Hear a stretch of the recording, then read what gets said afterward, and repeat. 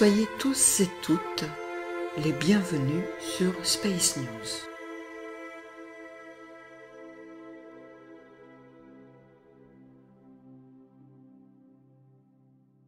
Faisant fi du devenir qu'elle souhaitait toujours atteindre, la nouvelle humanité s'est mise tout simplement à être.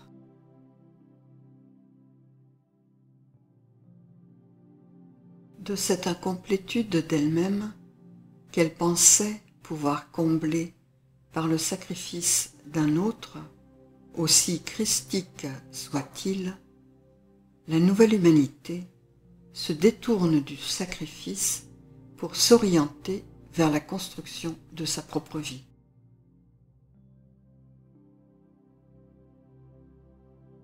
On lui affirme depuis des décennies qu'elle doit se corriger, s'améliorer, augmenter ses vibrations, ses fréquences, ses relations aux autres, sa nourriture, son sommeil, sa mentalité, ses connaissances, ses performances, son dévouement, sa spiritualité, mais la nouvelle humanité a décidé de s'accepter telle qu'elle est.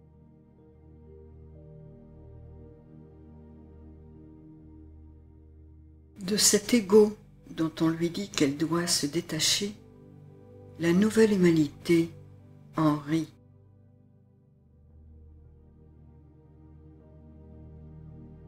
Toutes ces corrections que vous devriez faire selon le vieux monde ne sert que le vieux monde.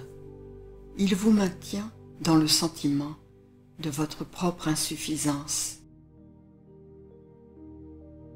Il vous maintient dans un sentiment d'échec par rapport à vous-même et de l'échec de l'humanité dans son ensemble. Lorsque vous essayez d'atteindre votre moi supérieur, un meilleur vous, un vous plus beau, plus haut, plus spirituel, vous ne l'atteindrez jamais, puisque non seulement ce souhait est une projection de la pensée qui chemine avec vous, mais vous créez un schisme, un ravin entre vous tel que vous êtes en ce moment et celui ou celle que vous voudriez devenir.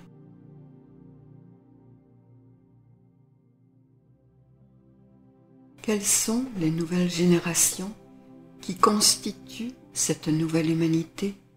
Quels sont les enfants qui sont nés il y a des décennies, qui ont tracé le chemin de l'humanité pour qu'elle soit ce qu'elle est maintenant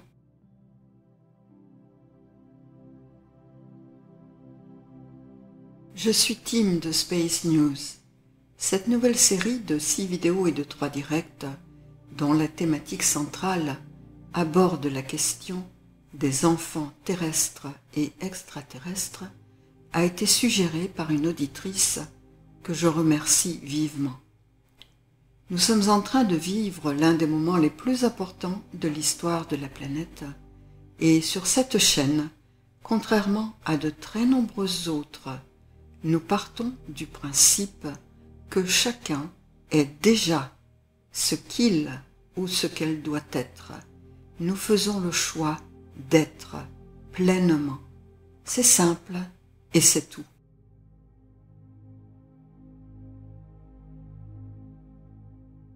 Nous verrons dans un premier temps l'apparition et l'évolution des générations d'humains sur Terre, ceux que l'on appelle les starseeds, les émissaires stellaires, et qui s'incarnent précisément pour briser les paradigmes du vieux monde et instaurer, déployer et soutenir la nouvelle humanité.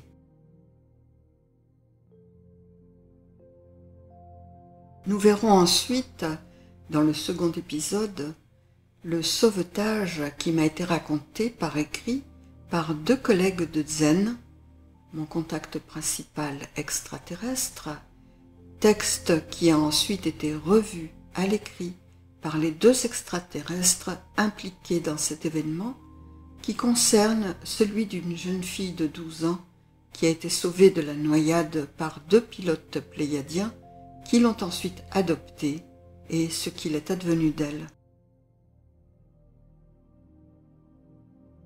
Le troisième épisode, sur l'actualité, présentera la nouvelle jeunesse qui agit d'ores et déjà au sein du nouvel ordre mondial version 2.0. Le quatrième épisode et la première partie du documentaire didactique présentera l'histoire très mystérieuse de Bruno Borges, un jeune Brésilien de 24 ans, étudiant en philosophie, et les informations qui m'ont été fournies par Zen, mon contact extraterrestre. Le cinquième épisode et la seconde partie du documentaire didactique présentera un synopsis de la manière dont se passe l'enfance chez plusieurs races extraterrestres. Et le sixième et dernier épisode de cette série relatera l'enfance de Zen avec la présentation écrite d'extraits de conversations que nous avons eus au fil des ans et qui seront des preuves matérielles qu'elles ont bien eu lieu et ce qu'il m'a dit sur ses parents, son domicile familial, son enfance et la manière dont ses parents l'ont élevé.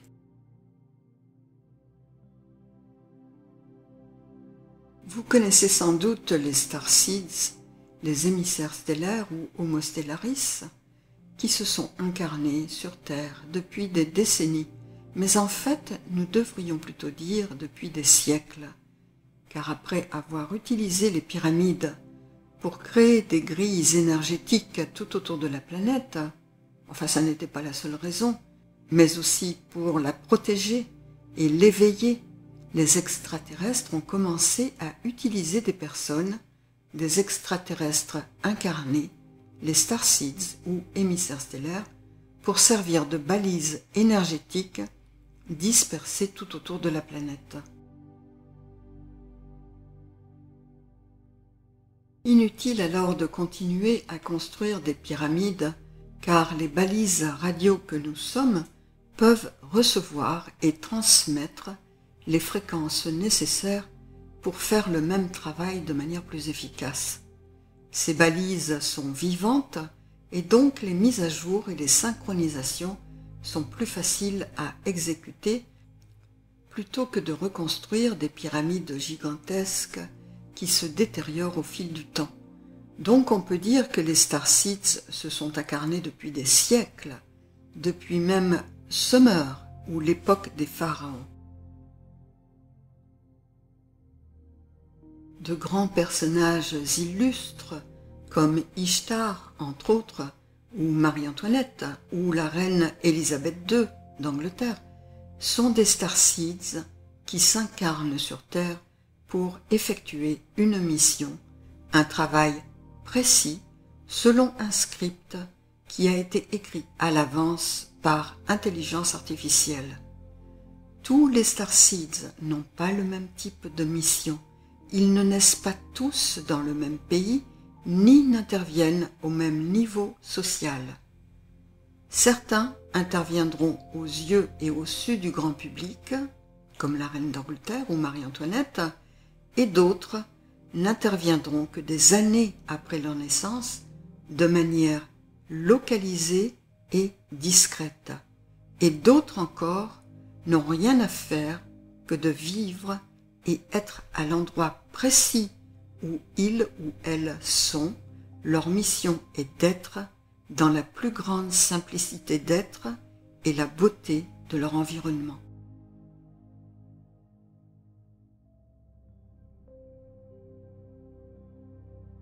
La thérapeute américaine Dolores Cannon, spécialiste de l'hypnose de régression, décédée en 2014, a été l'une des pionnières dans ce domaine. Elle situe leur arrivée sur Terre à partir des années 1950, mais je viens de le dire, l'incarnation récurrente des émissaires stellaires remonte très loin dans les siècles.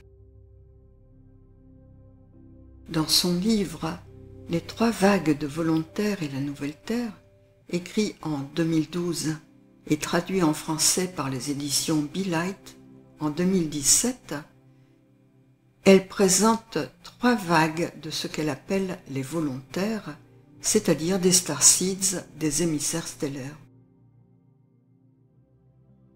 Selon Dolores Cannon, mais ce fut confirmé par mes contacts extraterrestres, ces vagues de volontaires sont arrivées pour aider à la réalisation de la planète, à son intégration. Certains émissaires stellaires viennent directement de ce qui est appelé la source et ils n'ont jamais vécu dans un corps physique avant leur incarnation terrienne. D'autres ont vécu sur d'autres planètes et d'autres encore sur d'autres planètes qui appartiennent à d'autres lignes de temps. Lorsque nous nous incarnons sur Terre, une partie de notre mémoire extraterrestre est effacée plus ou moins complètement. Certains et certaines d'entre nous ont gardé non seulement la mémoire de leur vie intra-utérine, mais également celle du moment de leur incarnation sur Terre et celle de leur vie passée, du moins celle qui a laissé le plus de souvenirs.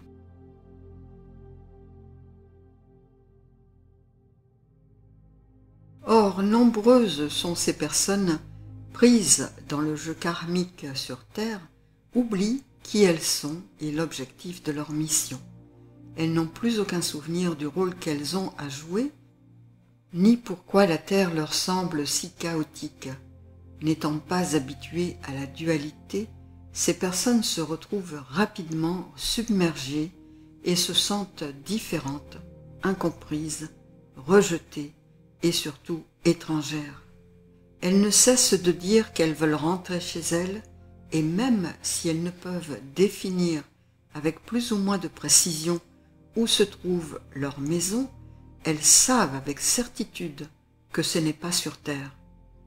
Il a existé de nombreuses vagues de volontaires qui ne sont pas connues sur Terre, mais Dolores Cannon, dans le but d'essayer de les définir, les place à partir de 1945, après le lancement de la bombe atomique.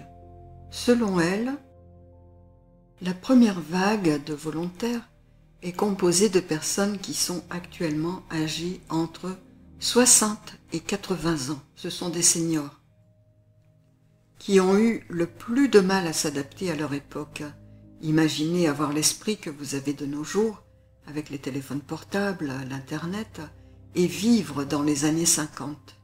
Elles n'aiment pas la violence et elles sont habituées à vivre dans la paix et l'harmonie et elles préfèrent les émotions paisibles aux émotions écrasantes de la 3D. Cette vague est composée des pionniers et des éclaireurs qui sont ici pour montrer la voie et pour défricher le chemin pour les vagues suivantes. De nouveau selon Dolores Cannon, la deuxième vague de volontaires a entre 30 et 40 ans. Ces personnes ont une vie un peu plus facile et elles sont généralement au service des autres. Elles préfèrent être discrètes et passent souvent inaperçues. Elles sont décrites comme des balises, des antennes, des générateurs ou des canaux d'énergie. La plupart des personnes composant ce groupe n'ont pas grand-chose à faire si ce n'est d'être car leur vibration augmente la vibration des autres personnes qu'elles côtoient. Et la troisième vague est constituée par les nouvelles générations d'enfants. La plupart sont actuellement âgés de 15 à 30 ans. Ils sont arrivés sur Terre avec le savoir-faire nécessaire à un niveau intuitif, comme la majorité des Starseeds, mais chez eux c'est plus évident. Ils arrivent avec leur ADN déjà modifié, et ils sont déjà ajustés à la nouvelle densité terrestre et aux nouvelles fréquences. Donc, en résumé du travail de Dolores Cannon, la première vague sont les pionniers qui déblaient et tracent le chemin pour les générations suivantes.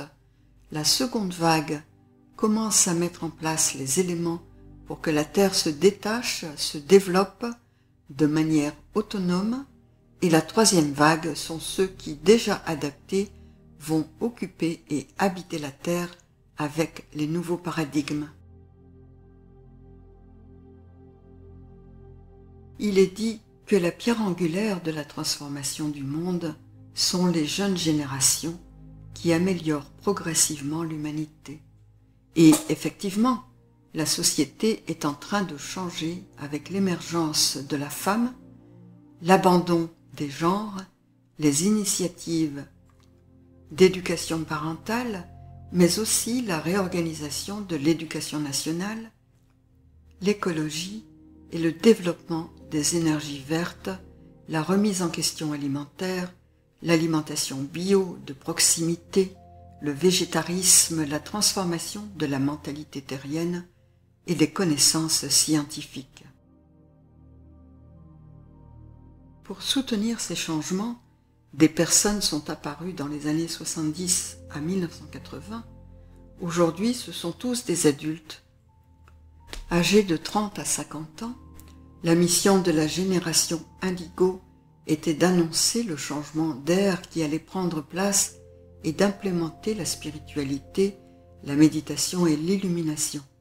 Ces personnes sont appelées Indigo à cause de leur aura qui est de cette couleur. La génération Indigo est composée d'hommes et de femmes spirituels, engagés, à la fois utopistes mais aussi déçus par l'humanité terrestre.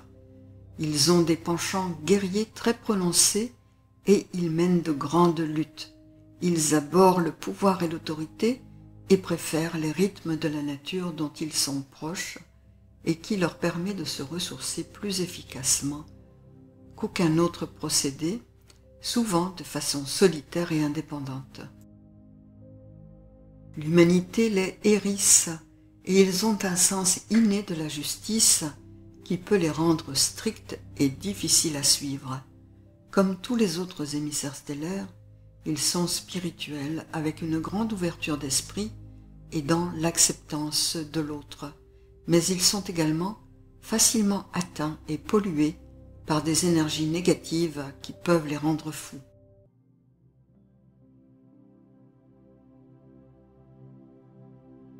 La génération cristal est celle qui a promis d'intervenir dans le monde. Ce sont des briseurs de systèmes et de nouveaux constructeurs. Ils ont pour mission de lutter contre les actions et les attitudes perpétuées par l'ancien monde. Ils recherchent une forme de vérité et un équilibre entre l'intuitif et l'irrationnel. Alors que la génération indigo se concentre sur le bien-être humain par le changement, la génération cristal a une mission de guérison. Les enfants de cette génération sont souvent associés à certains troubles du développement comme le syndrome du déficit de l'attention avec ou sans hyperactivité, le syndrome d'Asperger ou les troubles du spectre autistique. Cependant, ces personnes ont simplement un but de vie différent de ceux de la majorité des gens. La génération arc-en-ciel est composée d'hommes et de femmes dont l'ADN et la spiritualité sont déjà fonctionnels et qui sont adaptés à la nouvelle ère. Leurs manières d'être et de vivre sont tout à fait nouvelles.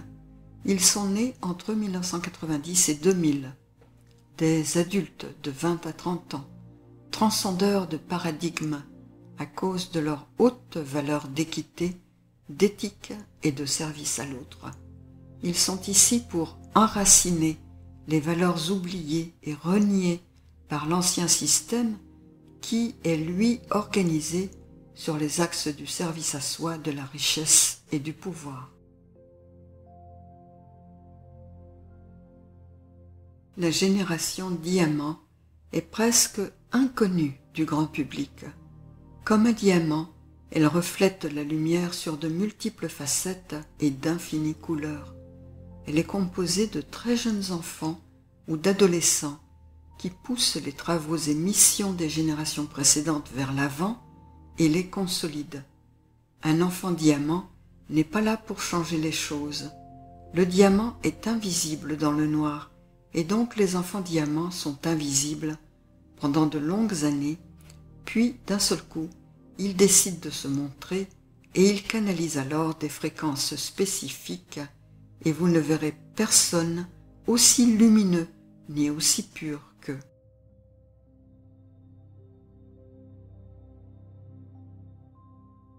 Ce sont souvent des élèves au niveau exceptionnel, tout comme le sont la majorité des émissaires stellaires. Ces enfants traversent les événements sans être touchés par les drames dans lesquels ils évoluent. Ils savent qu'ils ont raison dans 99% des cas, peu importe le sujet. Cette attitude sera interprétée par les autres comme de l'arrogance, car ils n'essaient pas de se justifier. C'est une perte d'énergie pour eux. Ils ont une vision beaucoup plus large, ne s'engagent pas dans des visions dualistes ou polarisées et au contraire gardent l'équilibre entre les deux côtés.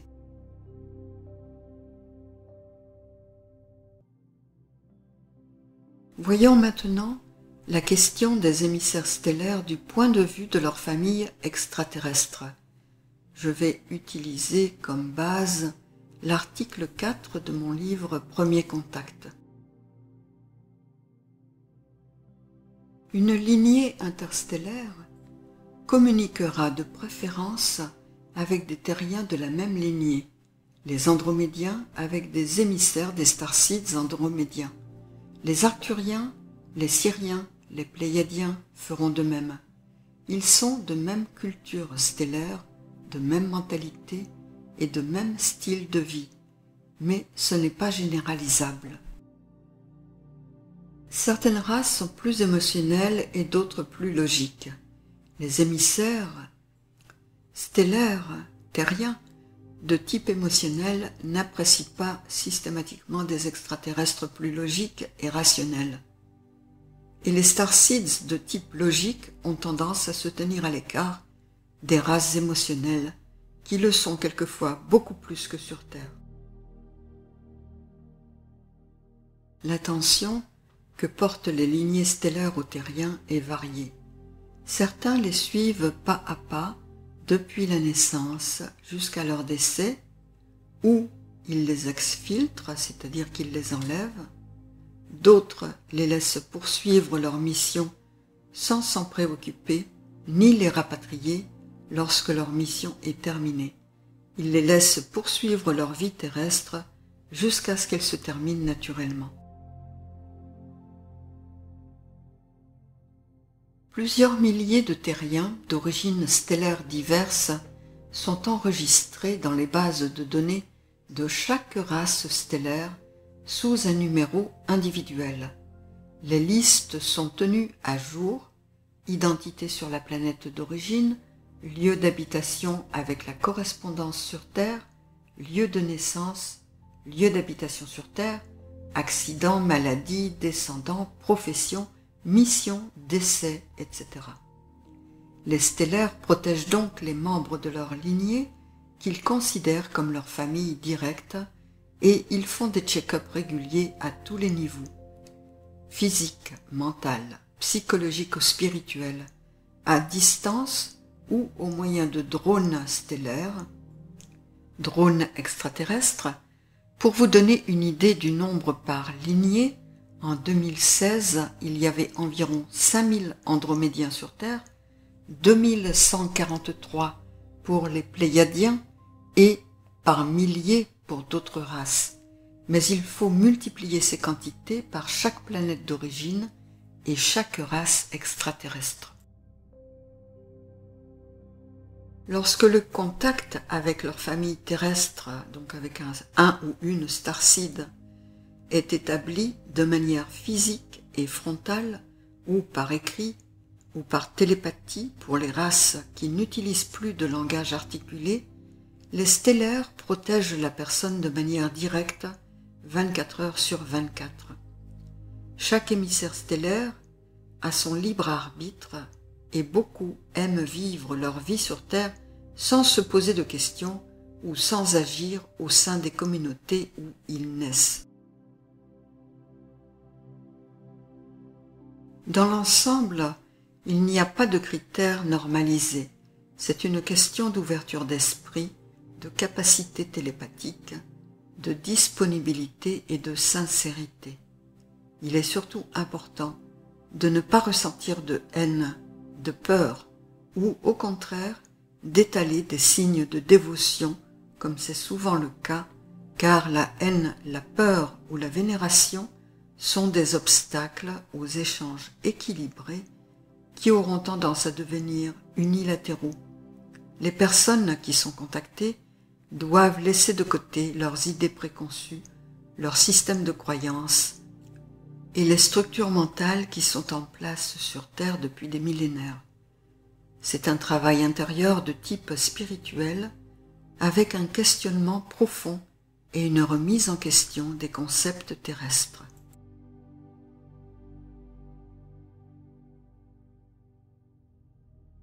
La majorité du grand public ne peut pas voir la réalité sociale et éducative même quand elle est présentée de manière logique. Parce que ce qui est considéré comme vrai, ce que la majorité des gens appellent la vérité, est en général limité à ce qu'ils connaissent ou ce qu'ils attendent. Et pour eux, choisir ce qui est vrai est en réalité faire le choix de ce qui leur est familier ou ce qui leur ressemble. Et ce qui leur ressemble n'est pas forcément logique ou spirituel. C'est aussi vrai en matière d'éducation, de guidance, de service et de soutien aux nouveaux enfants. L'éducation traditionnelle n'est en général pas orientée vers la résolution des problèmes de l'humanité, ni pour répondre aux aspirations des sociétés terriennes. Elle est organisée pour répondre au monde du travail et pour préparer les futurs travailleurs à différents métiers, mais elle n'est pas véritablement et profondément structurée pour préparer les humains aux défis fondamentaux des sociétés humaines. Pour répondre à ces défis, l'éducation de chaque pays, comme l'éducation nationale en France, tout autant que l'éducation parentale, celle que vous prodiguez tous les jours à vos enfants, doit associer apprentissage avec le quotidien et surtout laisser la plus grande place à la créativité individuelle. Éduquer c'est éduquer toute la personne dans son ensemble, pas comme un assemblage de parties, et dans un tout, un ensemble, c'est-à-dire en tant que partie intégrante de la société, de l'humanité, de la nature et de la planète dans son ensemble. Donc des personnes qui sont éduquées comme un ensemble dans son ensemble dont elles font partie et qu'elles sont.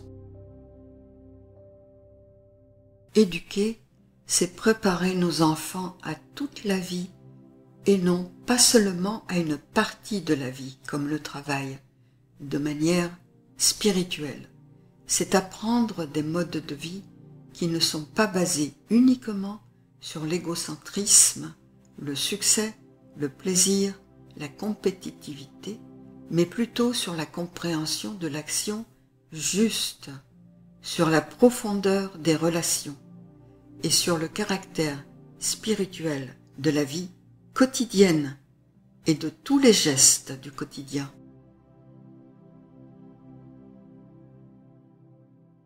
L'éducation doit éveiller la capacité d'être conscient de soi et pas seulement de se livrer à une expression de soi gratifiante le bon type d'éducation ne se préoccupe d'aucune idéologie.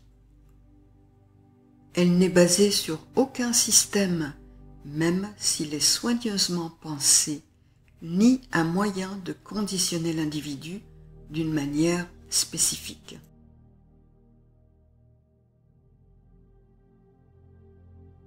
L'éducation, dans le vrai sens du terme, consiste à aider l'individu à être mature et libre et à s'épanouir dans l'éthique, l'empathie et la bonté et le service à l'autre.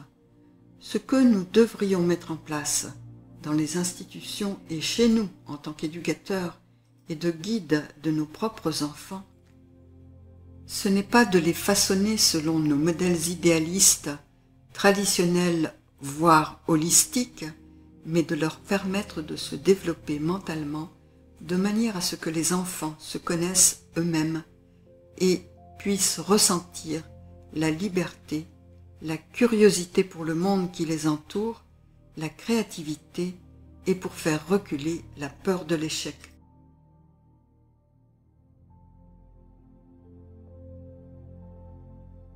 L'une des grandes réponses à cette question d'aider les nouvelles générations à être c'est la méditation qui peut être pratiquée à de très jeunes âges. Elle permet la transformation intérieure et la libération de l'être humain et à partir de chacun d'une société elle-même libre, spirituelle, qui ne redoute pas d'être. Si elle était introduite au cœur des foyers et au cœur des écoles, au même titre que la pratique des sports par exemple, les nouvelles générations seraient composées d'enfants libres, matures, responsables, respectueux et en phase avec eux-mêmes.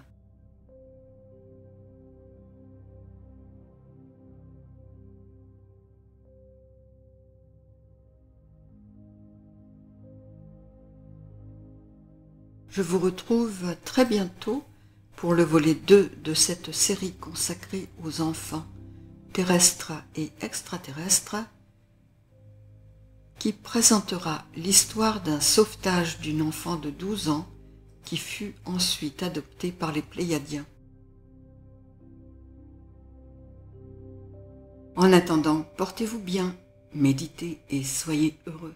Je suis Tim, l'un des porte-drapeaux d'une communauté planétaire. Je vous remercie et je vous salue respectueusement de cœur à cœur.